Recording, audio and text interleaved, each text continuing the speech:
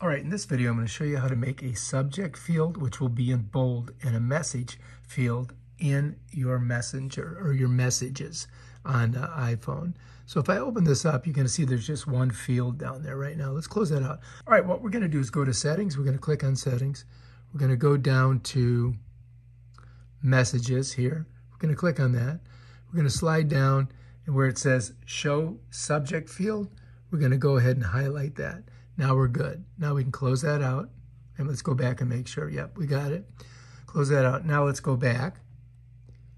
And here, look. Now we've got two fields in there, a subject field and a message. So let's say if I write nice, you see how it's bold? Now let's write the same word in the subject field.